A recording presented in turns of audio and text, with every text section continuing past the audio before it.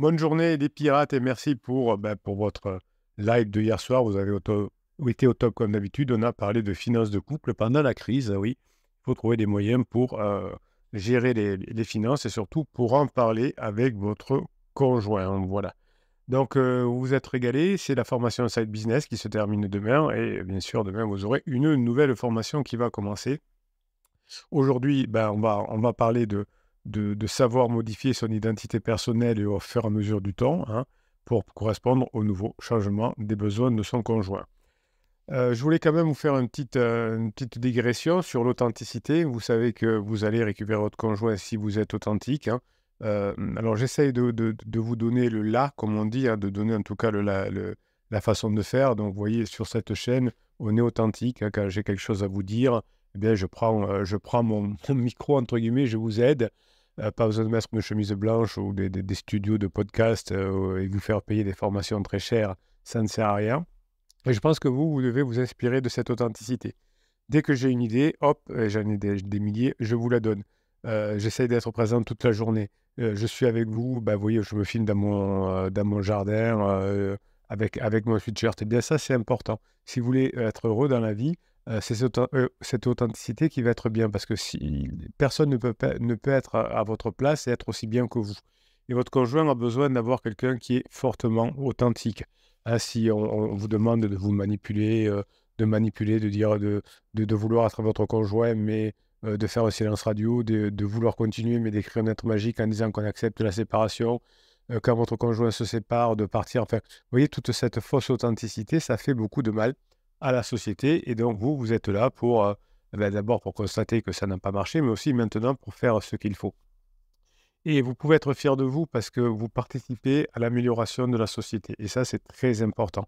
Euh, certaines personnes, quand vous savez, vous êtes outré par des coachs qui, euh, qui coachent pour, pour, pour créer de l'adultère et pour, pour pouvoir tromper son conjoint. Il y a des coachs qui vous proposent des silences radio, qui vous proposent tellement. Vous êtes outré par tout ça. Bien, participer à ce mouvement de sociétal qui dit ben non, c'est normal d'avoir des crises de couple, c'est normal qu'au bout de, 5, 10, 15, 20 ans, on ait une crise qui arrive, c'est normal qu'on traverse des crises existentielles, mais c'est pas pour autant que le couple doit voler un éclat. C'est pas pour autant que les enfants doivent changer de maison toutes les semaines. Et ben, votre soutien, c'est de vous former, c'est d'acheter de, des formations, de les mettre en application, de montrer au monde entier que ça marche, d'aider euh, les créateurs qui, vous amènent dans le bon sens. Tout ça, c'est ce, phénomène authentique qui fait que cette fabuleuse team de, pirates là, que vous avez constituée, euh, qui, fonctionne bien sur, sur le groupe Facebook, eh bien tout ça va montrer que tout ça fonctionne et que vous pouvez être exemplaire et faire en sorte que vous serez la première génération à comprendre comment fonctionne le couple après le couple qui a fonctionné pendant des milliers d'années c'est-à-dire que ben, c'était deux clans qui se mettaient ensemble et qui protégeaient le couple, puisque les, deux clans avaient besoin de ce couple-là pour continuer à, partager des, ressources. Eh bien, vous êtes la première génération où le couple est un couple d'envie, un couple de développement, hein, où on, va se développer en couple, et vous êtes le premier couple qui aura appris comment ça fonctionne. La première génération des couples n'a pas compris, il y a eu beaucoup de divorces, il y a eu énormément de, de séparation d'enfants qui se sont qui se sont fait du mal. On voit encore aujourd'hui des couples qui divorcent et qui se donnent des coups de couteau. Euh, ben vous, vous êtes la première génération à comprendre comment fonctionne le couple et, vous allez pouvoir l'apprendre à vos enfants, ces phases du couple, ces, ces crises existentielles, etc. Et eh bien voilà, donc vous êtes dans, une, bonne, dans une bonne mouvance. Euh, ben formez-vous, euh, récompensez les personnes qui, qui, sont autour de vous et qui vous aident, les autres pirates. prenez les formations pour, pour avancer. Et tout ça va faire que vous allez être euh, exemplaire. D'abord, vous allez récupérer votre couple, vous allez être mieux, mieux dans votre vie et vous allez rendre vos enfants heureux. Donc le couple euh, ne, doit durer, hein, le, le, couple a toujours duré depuis la nuit des temps, mais il s'est un peu éteint lorsque le, le, n'a plus fait son, son affaire et que le, couple est devenu une forme de, finalement de, de, du développement, développement personnel. Donc, on va, on va s'appuyer effectivement sur euh, la vie euh, réelle, hein, évidemment. Euh, l'identité personnelle de, de, du couple est une identité statutaire. la conscience que vous allez mettre pour récupérer votre couple ne passe plus par le jugement. Hein. Vous êtes sorti dans le, dans le jugement. Donc, l'identité personnelle que vous êtes en train de créer, c'est-à-dire la personne qui maintenant est euh, intéressante, qui est saillante, qui comprend qu'il faut euh, répondre aux besoins de son conjoint pour rester en couple, et euh, souvent le, le, plaisir, le, développement, eh bien cette identité personnelle est une responsabilité individuelle. C'est-à-dire que vous allez devoir améliorer et adapter les caractéristiques et qui vont exprimer une singularité qui va changer au fil du temps. Évidemment, vous avez un nom, un prénom, une date de naissance, des goûts, des passions, des valeurs, mais cette identité, elle peut bouger autour de notre vie. Par moment, on peut être vegan, par moment, on peut falloir faire des régimes, par moment, on peut faire de la, musculation, par moment, on peut adorer la philosophie, par moment, on peut adorer les neurosciences. Eh bien, en réalité, vous êtes des êtres uniques en construction. Et votre couple, c'est aussi un être unique en construction. Et comme vous ne l'avez pas nourri, votre couple, pendant la phase 2, vous êtes arrivé dans une phase d'exploration avant de passer, grâce à votre travail sur les formations, dans la phase 4, la phase de grande intimité. Donc finalement, euh, le couple, c'est une identité statutaire, une identité sociale, c'est-à-dire que le, couple a différents rôles, différents euh, statuts. Et ces statuts et ces rôles, ils vont euh, évoluer. Donc l'identité statutaire en général, c'est par exemple être un élève, être un citoyen, être un sportif, être un salarié, être un chef d'entreprise, être un fonctionnaire, eh bien, l'identité euh, statutaire nous définit et nous représente au regard de la loi et au regard des autres. Donc, le couple est un statut et ce statut a évolué. Donc, la différence entre, euh, l'identité statutaire et l'identité individuelle, c'est que le couple, lui, l'identité statutaire, hein, ce, couple-là qui est, qui, est, juridique finalement, même si on n'est pas marié, et cette identité, cette identité statutaire, elle est objective, stable et normée. Sauf qu'elle a évolué autour du temps. Avant, c'était quelque chose, ben voilà, on reste ensemble tout le temps et on, a un, mariage arrangé hein, par deux clans. Aujourd'hui, évidemment, on est passé du couple statutaire, objectif, stable et normé, à, un, un, couple d'identité personnelle, c'est-à-dire subjective, variable et créative. Donc les deux sont liés, elles interagissent évidemment, mais l'identité statutaire va se nourrir de l'identité personnelle, comme pour un être humain vous êtes une personne avec un nom, prénom, etc. Mais vous avez différents rôles. Hein. Vous êtes euh, qui évoluent dans la vie, l'étudiant, l'enfant, l'étudiant, euh, le salarié, le chef d'entreprise, le mari, le, voisin, etc.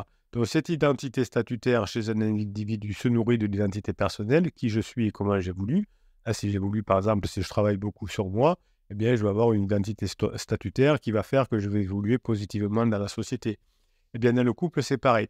Le couple, est statutaire. C'est quelque chose qui permet euh, d'être stable, d'être heureux, euh, de ne pas dépenser trop d'argent et d'élever des, des, enfants de façon euh, acceptable, qu'ils soient heureux d'être avec leur papa et leur maman comme ils ont besoin. Mais c'est aussi lié à une identité personnelle du couple qui est en train d'évoluer. Donc, vous allez faire en sorte que votre couple soit toujours présent et qu'il évolue en fonction des intérêts personnels des deux membres du couple. Donc, c'est comme ça qu'on modifie la personnalité du couple. Donc, par exemple, une profession, alors si on prend au niveau individuel, une profession qui est un statut, hein, une identité statutaire, va être influencée par nos intérêts personnels. Par exemple, vous êtes en train pour certains pirates, d'envisager de créer un side business. Vous avez des passions et vous allez en faire votre métier. Donc, votre intérêt personnel, votre passion va en faire une profession. Donc, dans le couple, l'identité statutaire est celle du couple lui-même, c'est-à-dire la relation officielle reconnue entre vous et votre conjoint que vous soyez marié, paxé, concubinage, etc. Donc cette identité statutaire du couple est stable car elle, repose sous un contrat qui peut être implicite, un engagement, une institution. Elle est aussi normée car elle obéit à des règles, des devoirs et des attentes. Enfin, elle est objective car elle est visible et mesurable par les autres. Bruno est en couple avec euh, X ou Y. La durée du couple, le nombre d'enfants, le niveau de vie, tout ça, fait que euh, le, couple est une identité statutaire. L'identité personnelle du couple donc va faire évoluer ce statut, puisque si on n'a pas une identité personnelle euh, de l'un des membres avec l'autre membre, eh bien effectivement, chacun des partenaires peut faire euh, exploser la partie institutionnelle du couple. Aujourd'hui, votre couple va rester dans une institution stable, parce que votre partenaire a évolué, il veut plus la même chose, il veut plus, euh, euh, il veut plus euh, la phase de sécurisation. eh bien cette identité personnelle du couple qui est variable, on change, va évoluer, mais va garder la statut du couple, le côté statutaire du couple. C'est-à-dire que comme votre conjoint a évolué et que vous allez évoluer aussi, eh bien les sentiments, les émotions et les désirs qui évoluent vont toujours aller dans le côté statutaire du couple. Si vous ne répondez pas aux besoins de votre conjoint, les sentiments vont s'amenuiser, les émotions vont devenir négatives et le désir va devenir proche de zéro. Donc cette, euh, identité du couple individuel euh, va nécessiter de la créativité car elle va impliquer que vous, en tant que pirate, euh, grâce aux formations, vous allez devoir vous réinventer, surprendre votre conjoint et vous renouveler. Hein, les formations permettent de se renouveler et d'être authentique. Cette, ce, cette, cette, ce fonctionnement de couple est subjectif, c'est intime, c'est personnel, chaque, chaque couple est différent mais vous devez avoir des projets communs, des souvenirs partagés, des secrets confiés, etc. C'est ce qui fera votre bonheur dans la phase 4 du couple. Donc l'enjeu du couple, c'est de concilier, ces deux formes d'identité qui peuvent être parfois en tension. Euh, comment faire pour que l'identité euh, statutaire du couple ne soit pas trop, trop, rigide, trop pesante, trop ennuyeuse? C'est ce que vous êtes, vous êtes arrivé dans la phase 2 du couple, à la fin de la phase de sécurisation. Euh, et comment faire du coup pour que maintenant, pour passer en phase 4, l'identité personnelle du couple ne soit pas trop fragile, trop volatile, trop, éphémère? C'est-à-dire que s'il y a vraiment une identité personnelle des deux membres du couple qui sont trop différentes, eh bien le côté statutaire du couple peut en souffrir. Donc chaque couple finalement est différent, chaque couple peut se sauver et chaque couple peut se réparer. Alors je vais vous donner une punchline. Hein, pour savoir sauver son couple, il faut savoir se séparer. Se séparer de quoi? D'un mode différent de, de, fonctionnement. Évidemment, se séparer de l'ancien couple, c'est-à-dire de la phase de sécurisation, est une occasion de faire bouger son identité personnelle par rapport à l'identité personnelle de son conjoint qui a changé. Cette identité personnelle du couple, elle a souvent été trop négligée, trop étouffée, trop sacrifiée pendant la phase 2 et se séparer de cette phase 2, passer à la phase 4, va être le moyen de se réparer physiquement, émotionnellement et faire des choses qui nous conviennent. Évidemment, le but n'est pas de, de, de, se séparer véritablement, mais de se séparer émotionnellement, notamment de ce que ce, de ce qu'on a vécu. Donc, quand votre conjoint est en down, il va falloir se séparer émotionnellement. Ah, donc, ce n'est pas une séparation physique, parce que si vous vous séparez euh, émotionnellement, vous n'aurez pas besoin d'avoir une séparation physique. Votre conjoint ne veut pas vous avoir sur le dos. Donc, soit la séparation sera physique, ce qui, ce qui à des pirates qui ont suivi des mauvais conseils de silence radio, des choses comme ça, soit c'est une séparation émotionnelle. Qu'est-ce que ça veut dire? Ça veut dire que vous allez devoir, notamment quand votre conjoint est en down, avoir des moments de détachement, de recul et de réflexion. Vous allez vous donner de la marge, de la souplesse et de la tolérance c'est ce qui vous permet de passer en phase 4 où vous serez beaucoup plus souple, où vous ferez des choses euh, séparément avec votre conjoint et vous serez très content de vous retrouver. Quand vous partirez en vacances, vous partirez certainement avec des amis et euh, ces amis finalement feront que euh, vous allez peut-être aller faire du, du footing le matin, du, sport le matin avec, avec les, femmes du, du, groupe ou avec les sportifs du groupe et l'après-midi vous irez à la plage ensemble pendant que le matin, pendant qu'il y en a qui font du sport, les autres vont se régaler d'aller faire un marché en, Provence. Donc, se permettre de ressentir des émotions qui ne sont pas forcément en accord va permettre de vous retrouver. Donc, pendant que votre conjoint est en down, il ben, ne faut pas aller le chatouiller, évidemment. et puis, plus tard, dans la phase 4, vous allez pouvoir vous reconnecter à vous-même parce que vous adorez faire du sport, vous adorez aller au marché et se reconnecter à soi-même, à ses besoins, va faire que finalement, on va être très heureux de, partager des choses ensemble. Donc, se séparer émotionnellement pendant les phases de down est très important. C'est-à-dire que cette, individualisation du couple cette, va permettre au, côté statutaire du couple de, continuer, car vous aurez compris que vous allez faire respirer à nouveau à ce côté émotionnel de, de l'individualité du couple. Pendant la phase de, du couple, vous étiez trop dans la routine, ah, vous avez votre couple ne servait qu'à être coloc, à, faire grandir les enfants, à bosser, etc. Aujourd'hui, vous vous rendez compte de la différence de l'autre, de la complexité de la relation, de la nécessité du dialogue, se retrouver avec empathie, avec bienveillance, avec authenticité. On a commencé la, la vidéo avec l'authenticité. C'est finalement se redire, se réajuster, se réconcilier de façon émotionnelle. Donc ce n'est pas être indifférent, hein, lâcher prise, ce n'est pas être insensible, lâcher prise, c'est pas être égoïste, c'est simplement prendre du recul pendant les périodes de down pour exprimer euh, son ressenti euh, que l'on a envie de faire. Les formations nous aident à évidemment exprimer notre ressenti et le comprendre. Donc vous allez euh, pouvoir vous rapprocher émotionnellement de votre conjoint après vous êtes éloigné émotionnellement, c'est-à-dire on arrête de se disputer, on arrête de se blesser et on évite de se quitter physiquement. Pendant les phases de dispute, euh, pendant la, phase 1 euh, euh, d'alarme, vous êtes peut-être rejeté, accusé ou culpabilisé. Vous, êtes, vous avez peut-être voulu vous imposer, vous avez au contraire subi si vous avez créé des, interdits et vous auriez pu même renoncer si vous n'étiez pas tombé dans votre, sur cette team pirate. Aujourd'hui, vous avez compris que vous allez passer en phase 4, que c'est les phases de, séparation émotionnelle. Vous allez apprendre à négocier, à compromettre et à consentir, ça c'est la phase 4, et vous allez trouver un équilibre entre l'identité personnelle de chacun des membres du couple et l'identité statutaire du couple, entre l'individualité et la solidarité, entre l'autonomie et le lien. Donc vous avez bien compris que votre conjoint va revenir avec vous, euh, à condition de vous séparer aussi intellectuellement, c'est-à-dire que peut-être que vous aviez des discussions pendant la phase 2 du couple qui étaient liées au travail. Hein, vous allez arrêter de parler travail, c'est important, c'est un interdit de parler travail dans un couple. Alors de temps en temps, oui, on peut dire, tiens, j'ai une promo, aujourd'hui il y a un client qui était bizarre et qui est venu me voir, donc on raconte des histoires finalement, mais on ne parle pas de son travail.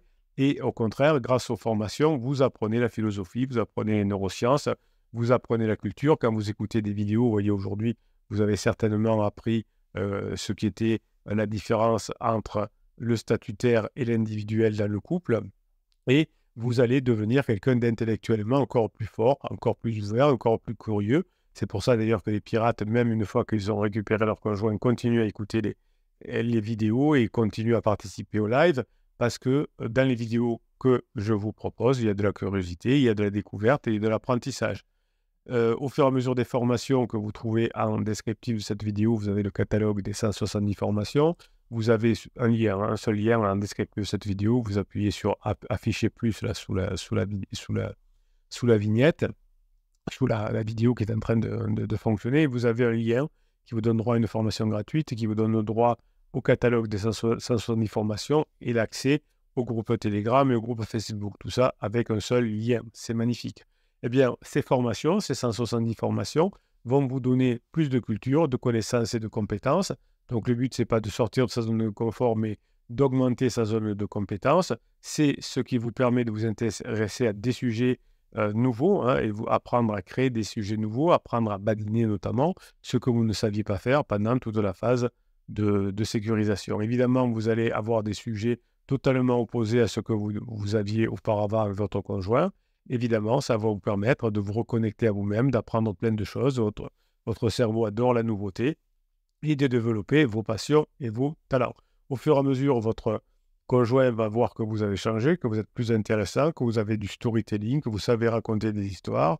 Et évidemment, euh, vous, vous devenez euh, très, euh, très amoureux de, la connaissance, hein, se rappeler ce que l'on sait, ce que l'on ignore, ce qu'on veut savoir, et aussi, évidemment, euh, les formations qui vous stimulent, qui vous, qui vous challenge et qui vous dépassent vont montrer à l'autre que maintenant vous êtes quelqu'un de beaucoup plus riche émotionnellement, intellectuellement, éventuellement financièrement si vous avez commencé le side business, et que vous êtes maintenant à nouveau la meilleure opportunité pour votre conjoint dans l'échange. Votre conjoint retrouve avec vous la curiosité, votre conjoint vous admire à nouveau, votre conjoint vous respecte à nouveau parce que vous changez, parce que vous êtes beaucoup plus cultivé, parce que vous avez appris au fur et à mesure des formations à avoir plein de sujets. Donc vous vous êtes séparé émotionnellement de vos crises, de votre côté enfantin, de votre côté boudeur, et vous vous êtes séparé intellectuellement également, c'est-à-dire que maintenant vous êtes un peu plus savant, un peu plus érudit, mais moins pédant qu'avant. Plus on a d'informations, moins on devient pédant. Les personnes qui sont pédantes sont des personnes qui ont peu d'informations et qui vont les étaler.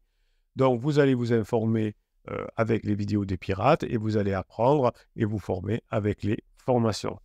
Euh, l'essentiel, c'est que vous appreniez la culture rend libre, le savoir rend libre, les connaissances rendent libre et on est libre d'être bien dans son couple, de se sentir vivant. Vous allez, grâce aux formations, apprendre à ne plus vous comparer, à ne plus juger votre conjoint, à ne plus vous juger et à ne plus rabaisser votre conjoint. Pendant la phase de sécurisation, vous avez souvent rabaissé votre conjoint qui s'est senti inférieur ou d'ailleurs ou différent. Vous vous êtes parfois même moqué, vous vous êtes parfois vexé, vous êtes parfois fâché. Aujourd'hui, grâce aux formations, vous apprenez à vous ouvrir, à vous écouter, à vous enrichir. C'est un long travail, mais c'est un, un travail salutaire. La crise de couple n'est pas la fin du couple, c'est le renouveau du couple. C'est un équilibre entre votre identité personnelle qui croît chaque jour grâce aux formations et votre identité statutaire du couple qui devient de plus en plus euh, stable grâce à votre intelligence nouvelle, grâce à votre émotion, grâce à votre sensibilité, grâce à votre savoir et grâce à votre savoir-être. Vous êtes de plus en plus différent, vous êtes même plus spirituel dans le bon sens du terme, c'est-à-dire que vous sentez beaucoup plus de choses, et vous êtes de plus en plus euh, fort dans votre, dans votre tête. Vous, vous, ne, vous, ne, vous n'avez plus peur, vous ne craignez plus, vous n'avez plus besoin de haïr, vous n'avez plus besoin d'exclure, vous n'avez plus besoin de vous opposer, vous n'avez plus besoin de vous isoler. Vous êtes bien, vous êtes quelqu'un qui euh, a compris euh, comment sauver son couple en se séparant de ses défauts émotionnels, intellectuels, et en se rapprochant, en devenant quelqu'un d'encore plus cultivé, d'encore plus fort, encore plus maîtrisant de ses émotions, vous avez appris à vous contrôler et vous avez du coup lâché le contrôle de votre. Pendant toute la phase de sécurisation, vous avez voulu contrôler votre conjoint pour qu'il soit exactement comme vous voulez. Aujourd'hui, vous avez compris que c'est vous qu'il faut contrôler et quand on se contrôle, on est très heureux et euh, dans le bonheur absolu. Vous allez vous rapprocher, ce qui ne veut pas dire être collé, ce qui ne veut pas dire être fusionnel, ce qui ne veut pas dire euh, dépendant. Vous allez être maintenant, grâce aux formations proches, complices et attentives, vous allez pouvoir remettre petit à petit des activités communes, des projets communs, des voyages communs. Vous allez changer de lieu, c'est l'aventure, de rythme et d'ambiance. L'essentiel, c'est que votre couple respire à nouveau, c'est que vous ne soyez pas trop collé à votre conjoint, c'est que votre conjoint se sente libre de se sentir bien et que votre conjoint se sente libre d'être vivant. Petit à petit, vous allez sauver votre couple en vous rapprochant, en étant différent, en étant de plus en plus costaud, et vous allez retrouver votre couple, vous allez sauver votre couple en vous renouvelant. La phase 2, c'est fini. Vous renouvelez votre couple en apprenant. Vous vous, vous séparez de certaines choses qui ne marchent pas et vous apprenez des choses qui fonctionnent pour vous rapprocher.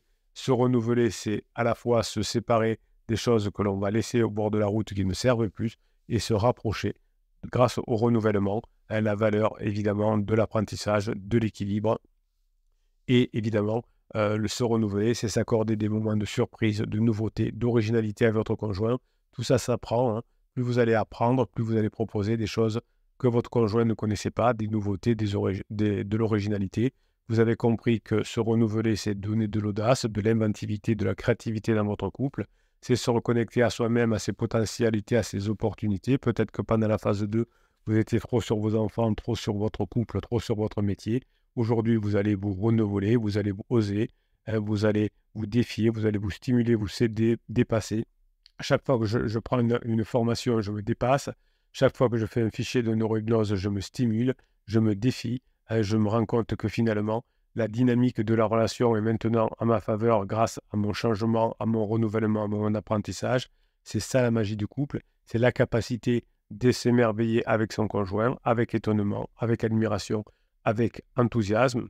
Aujourd'hui, vous étiez, euh, enfin hier plutôt, vous étiez encore en opposition avec votre conjoint. Aujourd'hui, vous allez vous compléter et vous allez vous cultiver. Alors, ce n'est pas forcément être extravagant, excentrique ou excessif, c'est juste euh, souvent être quelqu'un d'inventif, d'original, de créatif. C'est un peu de magie, c'est des choses inattendues, insolites ou, ou amusantes que vous apprenez dans les formations et que vous allez mettre en application. Votre conjoint va se sentir libre, se sentir bien, se sentir bien avec vous car vous avez changé de lieu, de rythme et d'ambiance. Vous n'êtes plus dans la trahison, vous n'êtes plus dans la manipulation, vous n'êtes plus dans le silence radio, vous n'êtes plus dans le film Je te suis, vous n'êtes plus dans le mensonge, vous ne vous reniez plus. Vous savez, quand, on fait un silence radio, on se renie, c'est-à-dire qu'on veut être ensemble, on veut, on veut montrer qu'on a changé et on ne parle plus à son conjoint. On se renie.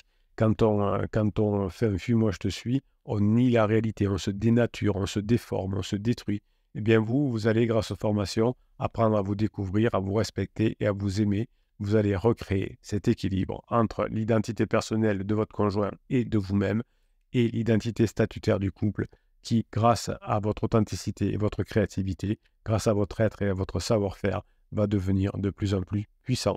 Je vous souhaite la journée que vous méritez. C'était une, une vidéo que j'avais envie de vous faire depuis longtemps euh, entre l'effet statutaire et l'effet personnel. Vous avez compris, j'espère que vous allez avoir de la lumière euh, grâce à cette vidéo. Je sais que vous êtes des pirates lumineux et que euh, chaque jour davantage vous grandissez en mettant en application les formations. Je vous souhaite la journée que vous méritez pour retrouver les, 170 formations et même la formation offerte. Vous allez en descriptif de cette vidéo, vous cliquez sur le lien, euh, l'unique lien, et vous accédez au groupe Facebook, au Telegram et bien sûr au catalogue des formations qui vont vous permettre de grandir, passer la journée que vous méritez.